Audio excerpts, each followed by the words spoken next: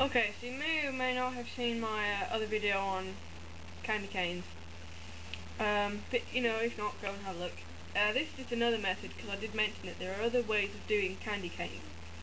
So this is just a, a quick video on um, how to do the other method. Um, I've just got some pre-back combed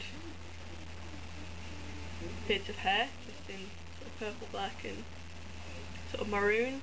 Um, you will need to uh, section off your hair, again half as much as you'd need, and back comb it beforehand.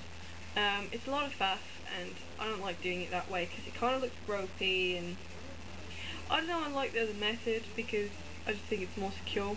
But anyway.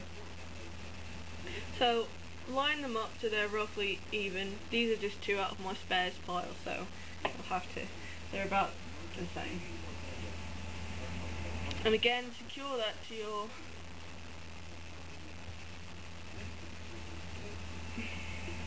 workspace. And this is dead easy. Um, if you if you need to see a video on backcombing, I have two two different methods. Go check them out. Um, okay, this is dead easy. All you need to do is, as you can see, just wrap them around each other. And although this method will give you more even candy canes, um, I still prefer doing it the other way just because for me the benefits outweigh cons. So although my candy canes may not be as even as, as if I was doing it that way, I can get them pretty even. It just takes a lot. It just takes practice, um, and you'll learn to judge it. So as you can see, I mean obviously this is thicker than you'd probably do because well these are just two that I've pulled out. And then you'd twist ends and then you'd seal it so it looks like this.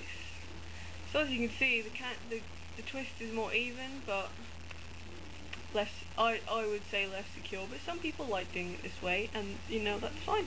So yeah, that was it really. Quick video.